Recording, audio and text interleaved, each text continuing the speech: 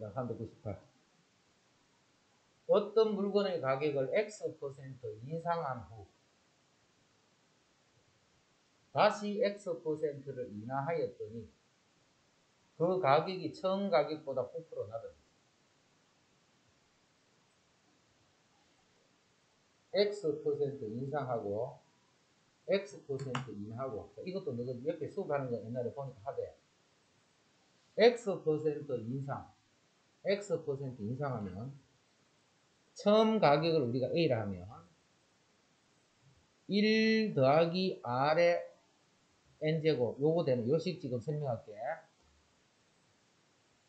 이 식도 설명하면 이점 먹고 설명하면 이점 먹고 설명해도 이점 먹고 설명해도 이점 먹고 할 때마다 해야 돼. 할 때마다 해야 돼. 귀찮아 죽겠어 이것도. 일정 비로 증가하는 거. 또 1학년 때만 나오면 끝이 아니고 2학년 때 가면 또 나와. 또 다른 수학 하면서 또 나와. 자, 제일 처음에 A가 있었어, A가.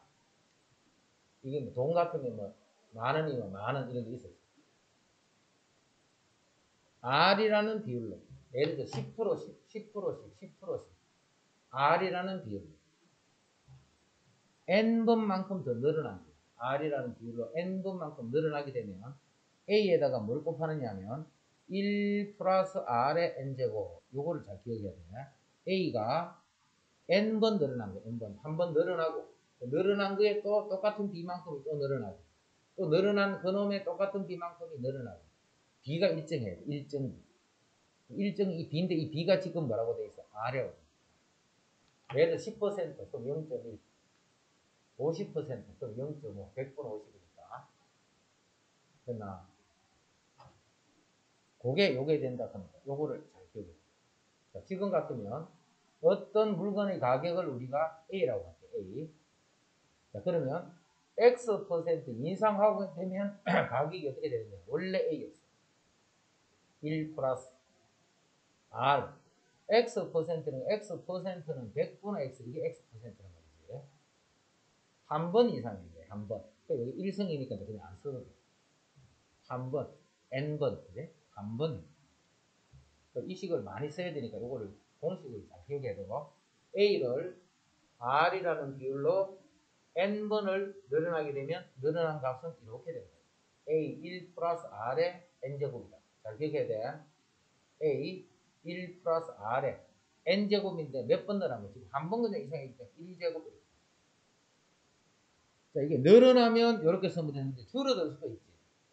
일정비로 줄어들 수도 있잖아. 예를 들면 어, 뭐 공기 정화기 같은 게 있어요. 공기가 한 번 딱 통과하면 50%씩 제거가 돼. 오염물질 50%씩 제거. 이럴 때는 한 번 할 때마다 50%니까 자꾸 줄어드는 거지. 늘어나면 이게 플러스가 되고 줄어들면 이게 마이너스. 늘어나면 1 플러스가 되고 줄어들면 1 마이너스. 자, 이제 요게 인상을 했을 때 가격 표구야, 가격. 인상을 했을 때, 예를 들면 이 말이야. 내가 공장에서 물건을 A1에 사가왔어. 그럼 내가 팔 때는 이온을 붙여서 팔겠지. X%만큼 이온을 붙이면 정가표에, 정가표에 이렇게 나타날 거야. 그래 놓고 이제 우리 백화점 같은 팔때 계속 어떻게 해? 세일 하더라, 그지? 아, 다시 할인해 준다. 이 돈에 대해서 할인해 준다. 할인할 때는 어떻게 하라면 1 플러스가 아니고 1 마이너스. 자, 몇 퍼센트를 하게 되냐? 역시 X 퍼센트니까 100분의 X를 이렇게 곱습니다. 그럼 이게 X 퍼센트 인상한 후에 이 가격에 대해서 또 X 퍼센트를 할인을 했기 때문에 1 마이너스 100분의 X. 이게 이제 금액이 돼. 이게 이제 세일해서 파는 거예요. 내가 공장에서 물건을 A1에 가져왔어. 근데 그걸 이제 팔 때 X 퍼센트만큼 이윤을 붙여서 팔려고 가격표 이렇게 적어놔. 적어놓고 이제 실제 팔 때는 다시 X 퍼센트만큼을 할인해줘. 세일한다. 1 빼기 100분의 X. 이렇게 했더니 처음 가격보다 9%가 낮아졌지. 0.91 A가 0.91 9%가 낮, 이것도 이렇게 있어. 1 빼기 0.09 9%니까 9%는 0.09지. 이게 처음 가격보다 9%만큼 낮아진 거야. 요게 요말. 그리고 A 값은 거야. 근데 여기서 이 방정식을 풀어야 돼, 이제. 자, 방정식을 푸는데 먼저 양변에 100을 한번 해볼게. 요 파란 부분이 100 빼기 x가 돼. 이쪽은 그대로지. 100만 곱했으니까. 자, 그게 여기 100을 곱하면 91이요. 또 분수꼴이 있으니까 한 번 더 100을 곱했지. 여기 곱할 거야. 그럼 이 식은 100 빼기 x고 이쪽도 100 빼기 x가 돼. 자, 그게 91에다가 또 100을 곱했기 때문에 그렇게. 그럼 이건 똑같으니까 바로 제곱이네, 제곱. 이렇게. 제곱이 이렇게.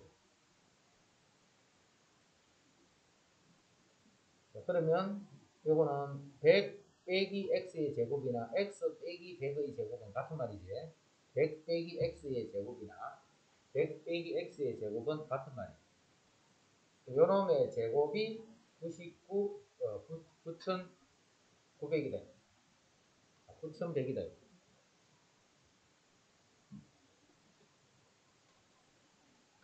그랬더니 그게 9,100이 돼. 빨리 먹어라. 근데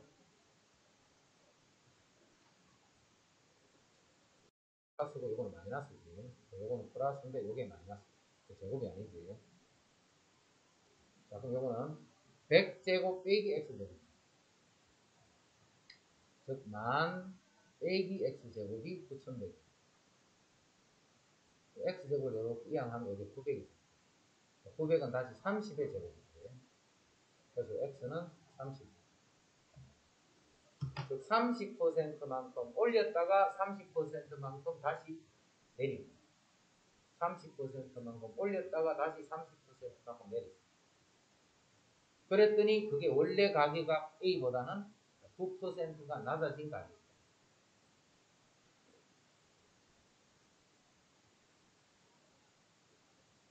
이거는 진짜로 재원이 이래나 아버니 됐다고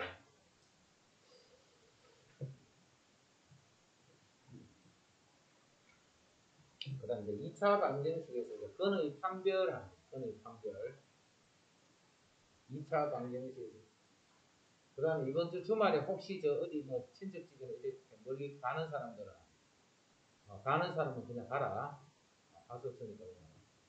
가는데 대신에 수업 시간 맞춰가 줌으로 접속해야 돼. 중간에 자꾸 비어버리면 나중에 뒤에 연결 안 되고 수업하기 자꾸 어려워져. 그 어디 가더라도 어, 줌으로 접속하고 인터, 어떤 사람 인터넷 없는데 집이 산골이라고 인터넷이 없는 사람 뭐 그럴 때는 할 수 없는 거죠. 안 그러면 PC방으로 가든가 하여튼 수업 제끼지 말해 일요일에는 제끼를 한다 일요일에 그리고 나중에 월요일에 보면 됩니다. 그리고 그 앞에 제끼가 뒤에 수업 있고 수업 있고 이렇게 하는데 자꾸 지장 생기도록 만들지 말고. 무슨 말인지 알겠지? 항상 수업 오기 전에는 그 전 시간까지 했던 거를 혹시라도 빠지면 딱 듣고 와야 되지. 어, 그래야 수업이 연결이 되지. 2차 방정식이 서로 다른 두 실근을 갖도록 서로 다른 두 실근을 갖는 조건은 여기 판별식이 어떻게 돼야 돼? 어, 0보다 크면 된다. 그래서 갑니다. 판별식이 0보다 크다고 풀어야 된다. 판별식이 0보다 크다.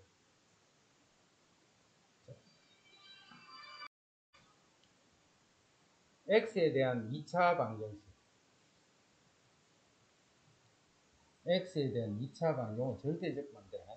요 말을 딱 보게 되면 요 식에서 m제곱 플러스 4는 0이 아니다. 요걸 딱 생각해야 돼. 근데 지금은 0이 아니지. 이거 0 될 수 없으니까, 이제. 지금은 0이 아니니까 관계없는데, 이게 만약에 이런 식으로 만약에 되어 있어. 그럴 때는 문제에다가 딱 하기 시작하기 전에 이렇게 해서 출발해. 나중에 답에 절대 2가 들어가면 안 되겠지. 지금은 관계없어. 이게 0이 될 수가 없어. 알겠지? 실근을 갖도록 했으니까 판별식이 0보다 크거나 같다 해. 그냥 실근이다 했어. 이거는 판별식이 0보다 크거나 같다. 이렇게. 만약에 서로 다른 두 실근 이렇게 할 때는 판별식이 0보다 크다 이렇게 해야 되겠지. 서로 다른 할 때는 그때도 0보다 크다 해야 되는데 지금은 크거나 같다 이렇게 크거나 같다 이렇게. 그래서 지금은 짝수식 써서 여기 B-니까. B- 제곱. 마이너스 AC AC 그럼 2m제곱 플러스 4가 이게 0보다 크거나 같다 조심해. 크다 하지 말고 크거나 같다. 실근이다. 중근이 돼도 관계없다. 그래서 m제곱 플러스 4m 2m제곱 마이너스 8이 이렇게 되니까 m제곱 마이너스 4m 플러스 4 이것이 0보다 작거나 같다. 정리했다. 우변으로 이항해서 다 정리했다. 오른쪽으로 다 넘겼다. 이거 마이너스니까 이제. 요게 뭔데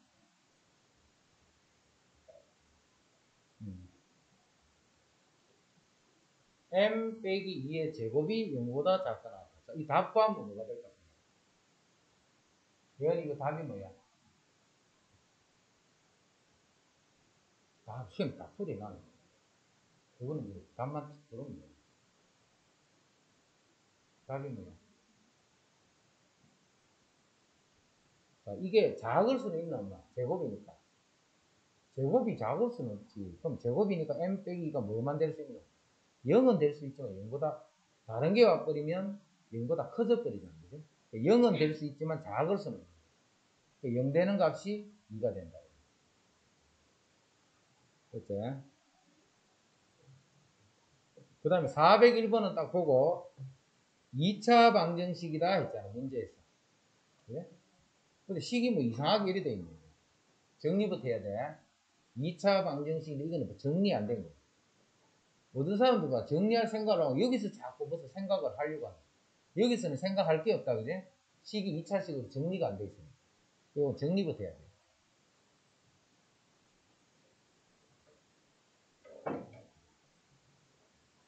요렇게 해서 2차항은 요거 하나밖에 없네. 1차항은 여기도 있고 여기도 있지. 자, 우리가 2차식은 판별식을 엄청 많이 쓰기 때문에 2가 있을 때는 미리 이렇게 묶어버려. 이렇게.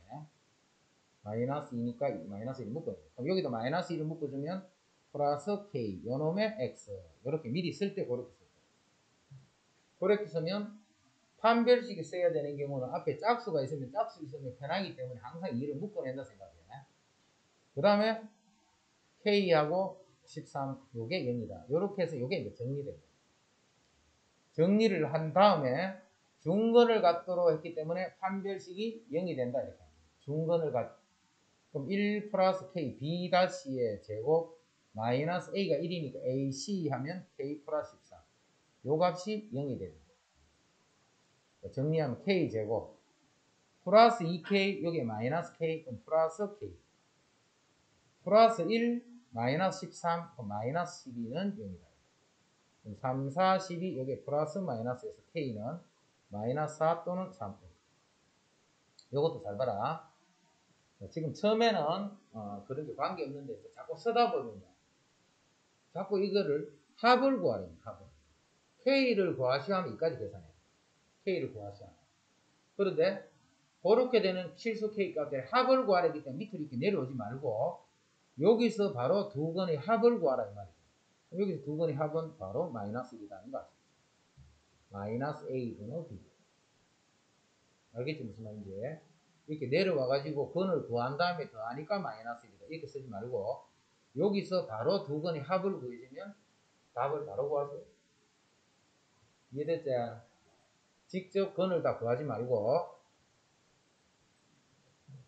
자, 그 다음에 또 402번 잘 해놔야 돼. 시험 잘 낸데 402번 나오면 바로 시험이 이렇게 좀 강조를 해주는 이런 것들은 문제를 좀 잘 정리를 해줘. 그리고 예를 들어 시험 친다 하지. 이렇게 강조 딱된 것들은 한 번 더 봐야 번 더. X에 대한 2차 방정식이 무슨 말이냐면 실수 K 값에 관계없이 중근을 가질 때 이런 말이에요. 실수 K 값에 관계없이 했기 때문에 여기서 일단 항등식이라는 의미가 들어있겠네요. 여기서 K에 대한 항등식이라는 의미가 됩니다. K 값에 관계없이 했기 때문에. 중근을 갖더라 했기 때문에 판별식이 0이다. 자, 그럼 어디를 먼저 써야 되는가? 그게 나중에 헷갈릴 수가 있어. 중근을 가져야 돼, 중근을.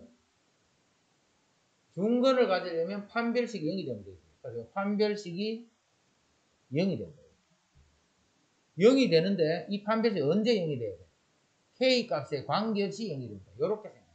먼저 항등식을 생각하지 말고 중근을 가져야 되기 때문에 판별식이 0이 되면 가는 거예요. 일단 판별식이 0 돼야 돼.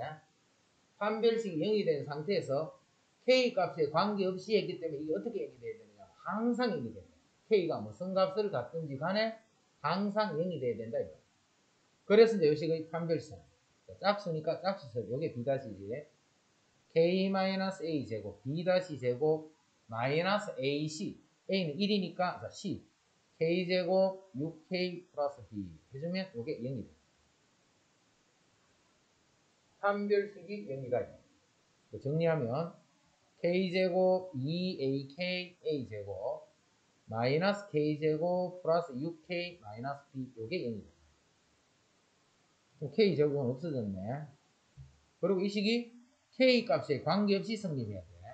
자, 그러면 k에 대한 1차식이니까 이 식을 이렇게 K에 대한 식으로 정리를 해요. 그러면 요게 0이 되고 요게 0이 되면 이 식은 항상 성립하죠. K가 무슨 수가 되더라도 성립합니다. 요까지가 요 식이 아니라 항등식입니다.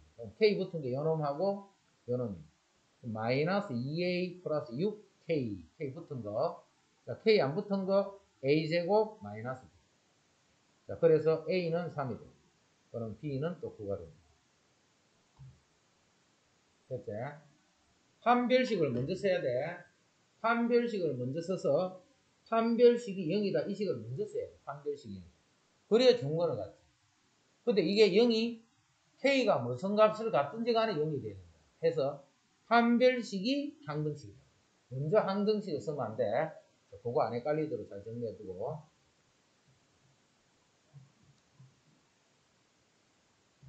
자, 이제 근을 판별하라고 했어. 건을 판별하라 이 말은 이 방정식이 무슨 건을 갖는가 그런 걸 알아보라. 이 방정식이 무슨 건을 갖는가. 건이 어떻게 되는가 그거 알아보라는 거야. 실건인지 허건인지 뭐 중건인지 그런 걸 알아보라. 그럼 그걸 알아보려면 뭘로 판, 판별식으로 알아보는 거야. 건을 판별하는 거는 판별식으로 알아보라. 그런데 조건이 있어 조건. 무슨 조건이냐. 2차 방정식이 중건을 갖는다는 게 조건이야. 이 2차 방정식이 중근을 갖더라 이게 조건. 2차 방정식이 중근을 가지려면 판별식이 0이 됩니다. 일단 이 빨간식의 판별식이 0이 돼요. 그래야 중근을 갖지. 중근을 가질 때 했기 때문에 그래서 b제곱 마이너스 4ac 3 마이너스 a 이게 일단 0이 돼요. 정리하면 4a 마이너스 12는 0 2, 6, 12 여기 플러스 마이너스에서 a는 2 또는 마이너스 6인데 A는 양의 실수다는 조건입니다. 그래서 일단 A가 보이죠. A는 안다, 그지? A는 아니까 이제 요식의 근을 판별하면 2x 제곱 A가 2인가 아니까 2x A가 2인가 아니까 2x A가 2인가 아니까 이거 플러스 3 근데 이게 근이 어떻게 되나 이 말이야. 그래서 이 식의 다시 판별식을 조사. B 다시 마이너스 AC 해서 음수가 됩니다. 음수가 되니까 서로 다른 두 흑은을 갖는다. 이 방정식의 근을 판별하시오. 이 말은 이 방정식의 근을 판별하시오. 이 말은 판별식을 구했을 때 이거 부가 어떻게 되나를 알아보시오. 됐지?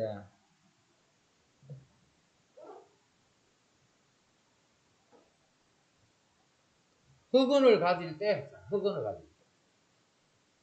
이게 조건이야. 일단 요게 흑은을 가지려면 판별식이 0보다 작다 이랬지. 이게 흑은을 가지려면 판별식이 0보다 작다. 자, 판별 쓴다. 지금부터 짝수니까 짝수 공식. b 다시 제곱 마이너스 ac 그럼 플러스 a 마이너스 1, 마이너스 1 곱하기 마이너스 a 거기 플러스 a 이게 0보다 작아야 돼. 그래서 a는 마이너스 4보다 작다. 자, 현재 우리가 알고 있는 거는 요 조건으로부터 a가 마이너스 9보다 작다. 요까지밖에 몰라. 이때 이 방정식의 근을 판별하는 것은 이 방정식의 판별식이 부호가 어떻게 되나 알아봐라. 이 방정식의 판별식이 부호가 어떻게 되나. 다시 이 식의 판별식 봅니다. b제곱 3제곱 마이너스 4ac a는 1이니까 자, c는 마이너스 a 플러스니까 마이너스 a 플러스 이게 부호조사라 정리하면 4a 더하기 13a 4a 더하기 13 그럼 a가 마이너스 9보다 작지 a가 마이너스 9보다 작으면 여기 마이너스 9일 때 뭐가 돼? 4, 9, 36이니까 음수가 되지 음수가 근데 그보다 더 작게 되니까 계속 음수밖에 안 돼. 음수밖에 안 되니까 답은 서로 다른 두 실근을 갖더라. 주어진 조건으로부터 내가 구하고자 하는 식의 판별식이 어떻게 되나를 알아보시오.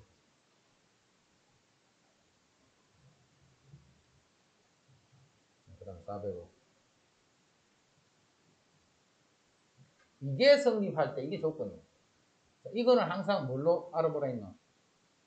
음의 제곱근을 계산하는 게 아니라 있지, 그지? 계산하려고 하는 게 아니고 이거는 뭘 주는 거라고? 부어주는 거야. 0이 아닌 했기 때문에 0은 안 되니까 0은 뺀다. 루트 A, 루트 B가 마이너스 루트 AB가 되겠으면 A도 음수고 B도 음수다. 요게 조건이야. A도 음수고 B도 음수고 요게 조건. 아는 건 이것밖에 없다. 이때 이 식이 근이 뭔가를 알아보려기 때문에 이 식의 판별식 조사합니다. 이 식의 판별식을 보니까 b제곱 마이너스 4ac b제곱 마이너스 4ac 여기서 a가 음수야. 그럼 이건 제곱이잖아. 제곱이니까 무조건 양수. b가 음수인데 앞에 마이너스 4를 꼽혔으니까 이 부분도 양수가 돼. 양수끼리 더했으니까 이거는 그냥 양수겠다. 그래서 이 방정식은 서로 다른 두 실근을 갖는다. 서로 다른 두 실근을 됐죠? 근을 판별하라는 것은 그 식의 판별식의 부호가 어떻게 되나를 알아보셔야 돼요. 그 식의 판별식의 부호가 어떻게 되는가 그걸 알아봐.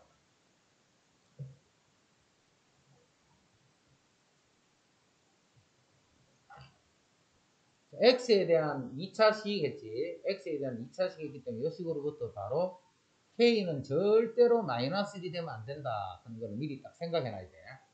그래서 혹시 답에 K가 마이너스 1이 들어가면 그거는 빼줘야 돼. 이게 2차식이다 했으니까 K가 마이너스 되면 2차식이 안 되잖아. 2차 개수가 이렇게 문자 올 때는 절대로 돼. 2차 식이다 어, 했기 때문에 K 플러스 1. 요 부호가 맞춰져야 된다. 부호가 0이 아니더라. 그럼 이게 완전 제곱식이 된다. 완전 제곱식이 되는 조건은 판별식이 0이다. 꼭 기억해. 완전 제곱식이 되면 다른 말하면 중근 갖는다. 이거하고 같은 말이다. 중근을 갖는다.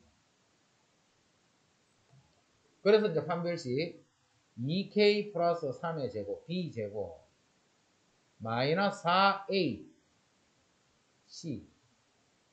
이렇게. b제곱 마이너스 4a. 이게 0이 되면 이 2차식이 중근을 갖는다. 즉, 완전 제곱식이 된다. 그래서 4k 제곱 플러스 12k 플러스 9 요거 정리하면 k제곱 플러스 4k 플러스 3이니까 마이너스 4를 곱하니까 마이너스 4k 제곱 마이너스 16k 마이너스 12는 0이다. 2차는 없어졌네. 요거 두 개 정리하면 마이너스 하니까 이항 해버리자. 그럼 4k가 되지. 자, 숫자끼리 정리했더니 마이너스 3. k는 마이너스 4분의 3. 요 1하고는 마이너스 1하고는 관계없지.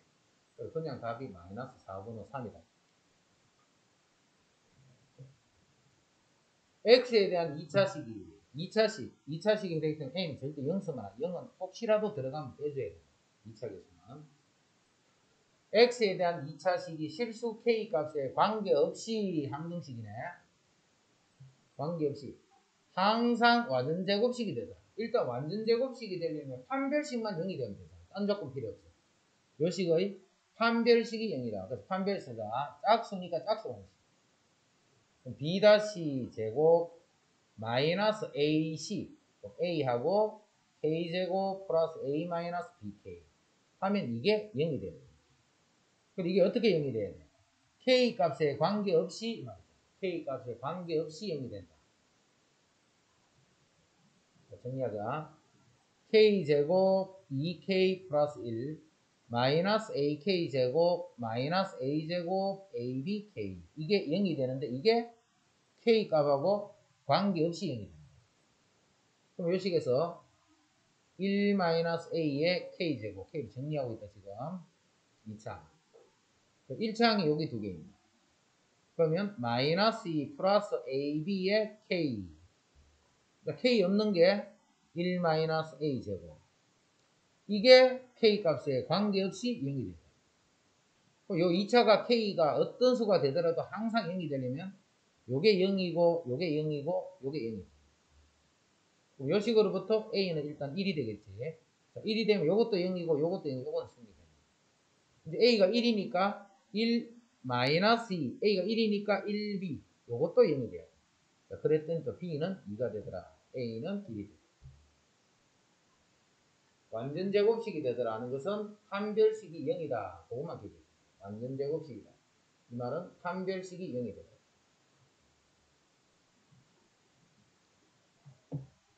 이것도 봐. 말을 알아, 말만 돼. 요 x에 대한 2차식이 요렇게 인수분해 됐어. 다른 말로 하면 이 식이 완전 제곱식이다 이 말이지. x-n의 제곱으로 인수분해 됐다는 말은 좌변이 완전 제곱식이다 이 말이야. 좌변이 완전 제곱식이 되기 위해서는 판별식이 0이 되면 이 식이 완전 제곱식이 돼. 이 식이 이렇게 인수분해 됐다는 말은 완전 제곱식이다 이 말이야. 그래서 완전 제곱식이 되기 위한 조건은 판별식 m제곱 마이너스 4ac 2m 플러스 5 이게 0이 돼야 된다. 정리하면 m제곱 마이너스 8m 마이너스 20이 0이 돼. 그럼 이게 2하고 10하고 곱하고 이게 마이너스 플러스. 그럼 m은 양수라 있지. 양수 m은 10 하나밖에 안 돼. m을 구했다. 그럼 m을 구하면 이 식이 어떻게 되느냐 하면 x제곱 마이너스 10m m이 10이니까 25가 되는 거예요. 그러니까 이 식은 x 마이너스 5의 제곱이다. 이렇게 되겠다. 이 x지. x 마이너스 5의 제곱. 그럼 이게 x 마이너스 n 제곱이 됐으니까 n 값이 또 5가 된다는 거그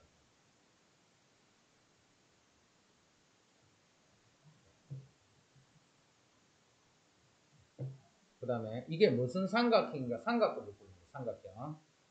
x에 대한 2차식 이거가 완전 제곱식일 때 x에 대한 2차식 이것이 완전 제곱식일 때 이게 완전 제곱식이 돼요. 완전 제곱식이 되려면 판별식이 0이 되면 되죠. 그리고 A하고 C는 같으면 안 돼. 2차식이니까, 그제? 여기 0이 되면 안 됩니다. A, C가 다른 상태로 이게 완전 제곱식이다. 완전 제곱식이 되려면 판별식 0이 돼. 자, 짝수니까 짝수 공식 쓰자. B-C 제곱 마이너스 AC A 마이너스 C A 플러스 이게 0이 됩니다. 그럼 b제곱 빼기 있다. 이 부분이 a제곱 빼기 c제곱. 그래서 b제곱, a제곱, c제곱이 0이니까 a제곱은 b제곱 더하기 c제곱이다. 이런 관계가 나타. 그래서 답은 뭐라 써야 돼? a를 빗변으로 하는 직각삼각형 또는 각 a가 90도인 직각삼각형 둘 중에 하나입니다. 보통은 A를 빗변으로 하는 직각삼각 이 말을 좀 많이 쓴다. A를 빗변으로 하는 직각삼각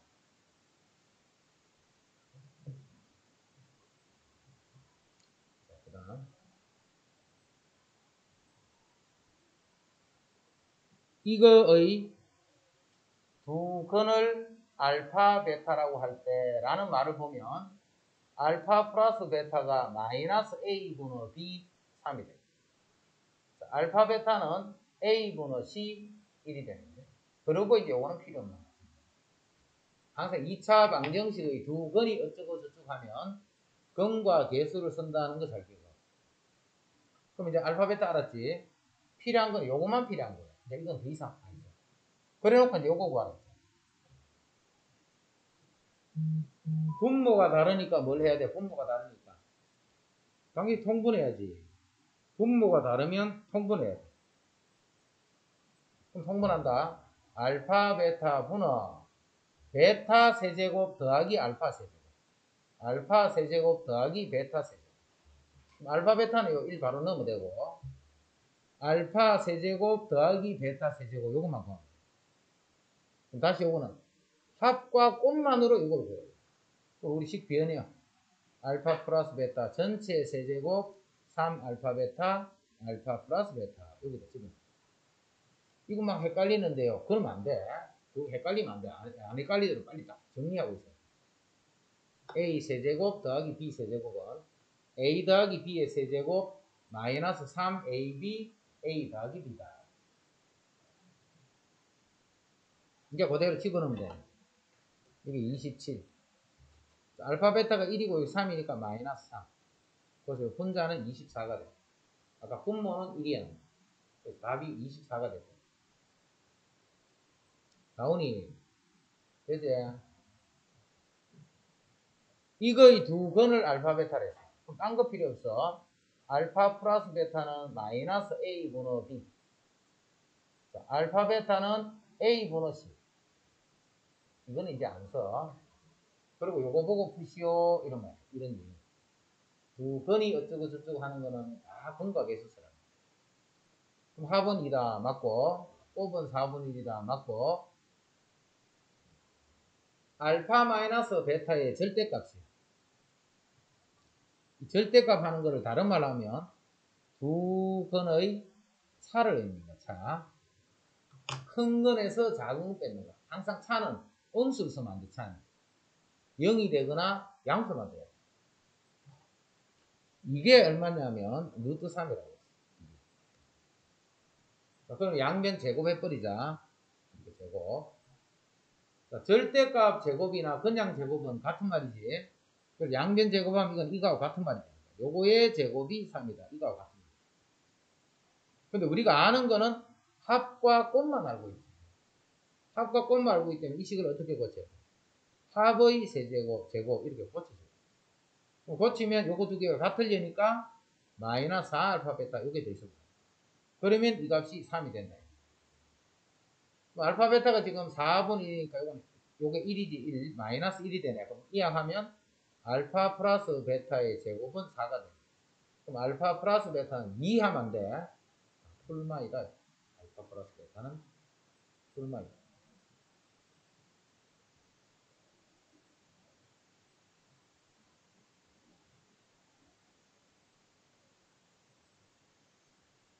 아, 이게 아니고. 이게 루트 3이가 물은 거잖아. 이게 루트 3인데 이게 맞나 틀렸나 물어보라는 거지. 양변 제곱하면 이거 계산하면 3이 되나 이 말이 아니고 이거 계산하면 3이 되나 이거 물은 거예요. 이건 알파 플러스 베타의 제곱을 하면 4가 되고 알파 베타 이게 4분 1이니까 여기 1이 되면서 빼기 1해서 답은 3이다. 성립하지. 그래서 이거는 맞는 말이야. 방식 푸는 게 아니고 두 번의 차가 루트 3이 되나. 그럼 제곱이 3이네, 그지? 제곱이. 제곱이 3이면 원래 값은 루트 3이라 뜻이겠죠. 루트 3이다. 그래서 이게 말. 그 다음 요것도 뭐야? 알파 플러스 베타의 제곱 마이너스 2알파 베타가 2분의 7이 되나? 그럼 알파 플러스 베타의 제곱은 4. 자, 요거는 요게 4분의 1이니까 여기 2분의 1이 돼. 여기 2분의 8이니까 2분의 7이다. 요것도 씁니다. 자, 그 다음에 5번. 5번은 이거 계산하면 13분의 2가 되나? 이거 물어보거든요. 이거를 계산하면 13분의 2가 되나? 이거 물어보거든요. 그럼 이거 어떻게 계산해야 되는데? 분모가 다르니까 당연히 통분. 1 플러스 알파, 1 플러스 베타. 분어. 자, 여기는 요게 더 곱해졌으니까 1 플러스 베타가 되고, 이쪽에는 요게 더 곱해졌으니까 여기 1 플러스 알파가 돼. 분모 정리하면 1 플러스 알파 플러스 베타 플러스 알파 베타. 분자 정리하면 알파 플러스 베타 플러스 2다. 이게 대입 1 더하기. 알파 플러스 베타는 마이너스 A분의 B 2가 돼. 알파 베타는 4분의 1, 4분. 그러니까 분자는 알파 플러스 베타가 2 더하기 더하기 2예요. 보면 4 곱해버리자. 그럼 여기 3이니까 3, 4, 12가 되고 더하기 1. 4를 곱했으니까. 여기도 4에다가 4를 곱하면 16. 그래서 13분의 16인데 오늘 13분의 2라고 돼 있네. 그래서 옳지 않은 것은 4분이 옳지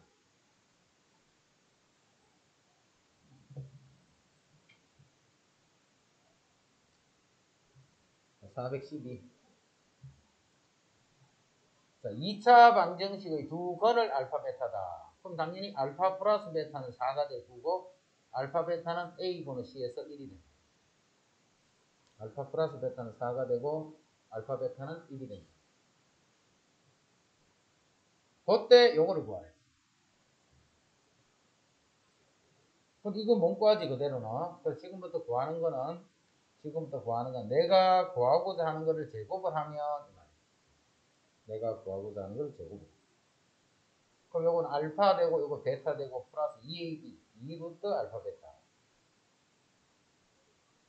자 그럼 알파 플러스 베타는 4 알파 베타 요게 1이니까 이건 플러스 2만 빼고 6이지. 뭐 하니까? 제곱을 하니까 6이야. 제곱을 하니까. 원래 값은 뭔데 그냥 루트 6이야 풀마가 아니고 왜? 양수 더하기 양수니까 원래부터 이 값은 양수였다. 이거의 두 건이 알파 베타. 그럼 자동으로 나와야 돼. 알파 플러스 베타는 마이너스 A 분의 B. 아. 그 다음에 알파 베타는 A C. A C. 2 분의 3. 그러면 이건 쓸 때도 있긴 있는데 한 90% 이상은 쓸 일이 없어 앞에 거. 요, 요거만 그래 놓고 이거 구하라 그럼 분자는 어떻게 해서 제곱 다 제곱이니까 2 알파 베타 이렇게 분모는 알파 마이너스 베타의 제곱이니 알파 플러스 베타의 제곱으로 고치면 원준이 뒤에 뭐라 해야 돼?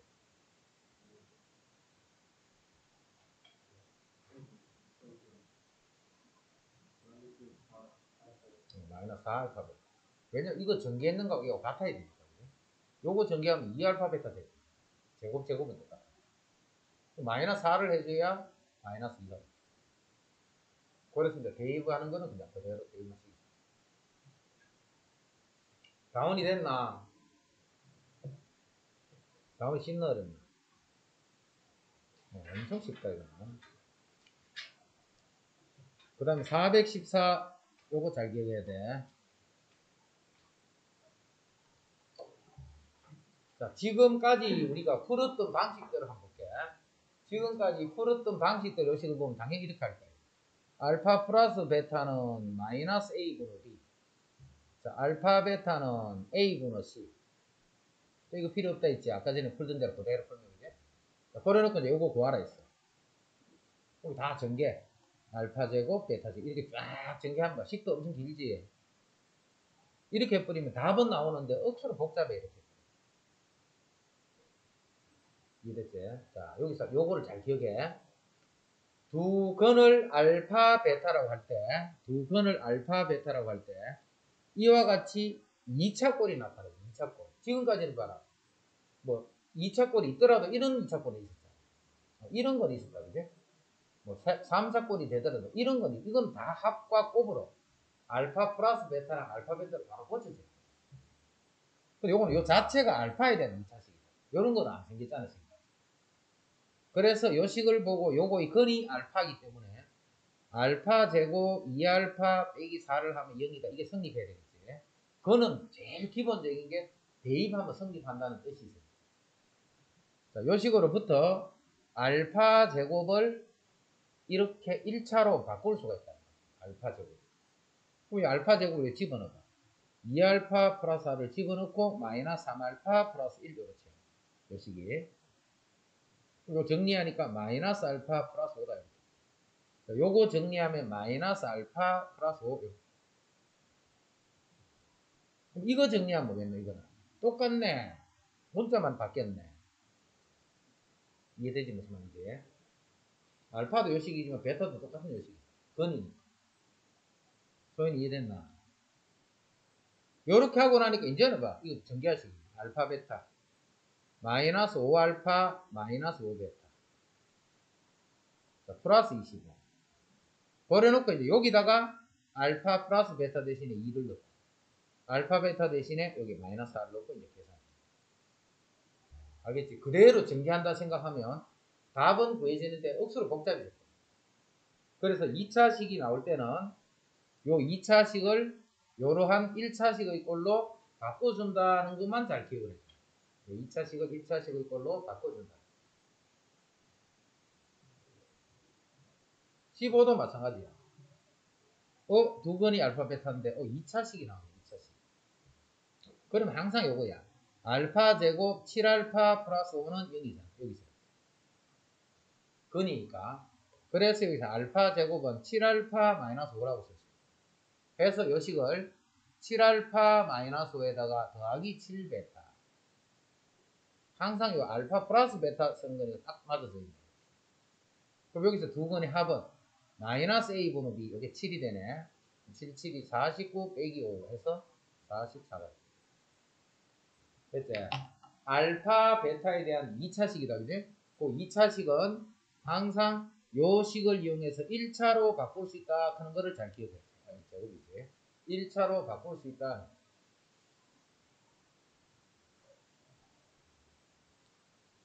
자, 이게 아까 요런 경우는 그래도 전기식이면 뭐 그나마 좀, 좀 간단해. 근데 이 식은 이제 난리나, 이 식은. 다르니까 통분하겠지. 그냥 통분해버리면 끔찍하지, 그지? 어.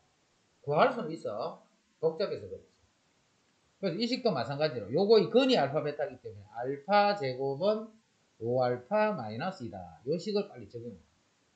그거를 알파 대신에 집어넣어 버리면 5알파 마이너스 2 마이너스 4알파 플러스 2 정리하니까 그냥 알파가 됐거든요.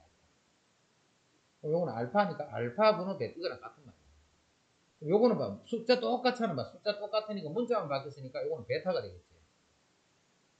얘는 이거 이해되나? 어, 그럼 요거 그냥 구하라. 그럼 이거는 통분 알파 제곱 베타 제곱. 근데 요것만 알파 플러스 베타의 제곱 마이너스 2알파 베타. 이렇게 해서 이제 대입만 씌우는 거죠.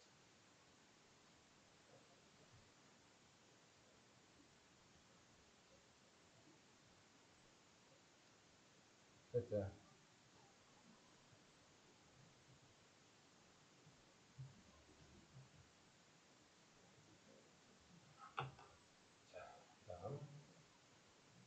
이거의 두 건을 알파 베타다. 무조건 이거야. 두 건이 알파 베타면 알파 플러스 베타는 마이너스 A분의 B, K 플러스 1이고 알파 베타는 A분의 C, K 마이너스 1. 근이 주어지면 항상 이거 써요. 자, 그래 놓고 요게 5라고 했다, 그지? 그럼 이건 이렇게 쓰는 거 아니겠지? 알파 마이너스 베타의 제곱 아니겠지? 알파 플러스 베타의 제곱 마이너스 4알파 베타 이게 바로 좌변이잖아요. 자, 그게 우변 이렇게. 거기다가 이제 합과 곱을 여기 집어넣을 거야. k 플러스 1의 제곱 마이너스 4. 알파 베타는 k 마이너스 1. 하면 이게 5가 됐다. 이제 정리해보면 k 제곱 플러스 2k 마이너스 4k. 마이너스 2k. 플러스 1 플러스 4. 5네, 그지? 5, 5 없어졌네. 그 0. 그 k는 0 또는 2인데 양수 k를 구하시오 했으니까 답은 2만. 그럼 나중에 서술형이면 어떻게 되는지요? 이렇게 돼, 서술형. 이렇게 깔끔하게 좀 푸는 거 자꾸 평상시에 연습해. 그래야 나중에 봐라. 그 2학년, 1학년 올라가서 1학년 1학기 중간고사 때, 2학기 중간고사 때. 서술형 나오면 서술형. 서술형 나오면 뭐 서술형 뭐 대비, 대비가 없는데 이런 게 바로 서술형. 이렇게 쓰면 이게 서술형. 요거만 쓰는 거는 단답. 그 다음에 1, 2, 3, 4 중에 고르면 그럼 객관식다. 서술형이 뭐 특별한 그런 게 아니지, 그제? 그대로 그냥 자기 풀어하는 대로 그대로 풀어서 차근차근히 전개시키 전에 이게 다 서술형.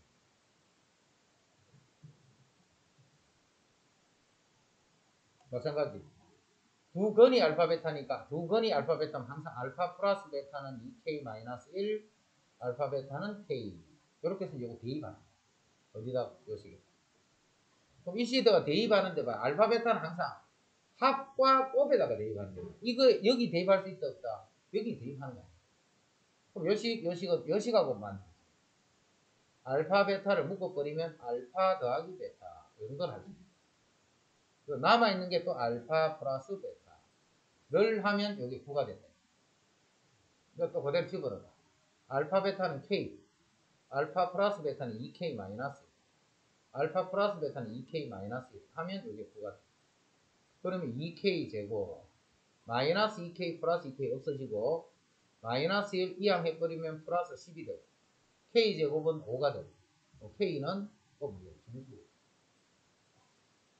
2점된 K이고 2K 마이너스 알파 베타 알파 플러스 베타 더하기 알파 플러스 K. 2K 아 2K 제곱 마이너스 K 아 마이너스 K 플러스 2K지. 다시. 여기는 마이너스 K 플러스 2K니까 플러스 K 남아있지. 그다음 숫자가 여기에 이항하면 마이너스 10 equal 제로 그럼 1, 2, 2, 5, 10 플러스 K니까 5가 플러스가 돼야 되고 4가 마이너스가 돼요 그럼 K는 2 또는 마이너스 2번 자, 그 중에 정수 K를 구하라 했으니까 2가 돼 지금 봐 계속 풀이 어때? 똑같잖아. 두 근이 알파 베타다. 그러면 항상 알파 플러스 베타랑 알파 베타랑 그것만 구해놓고 풀어주면 다 똑같네.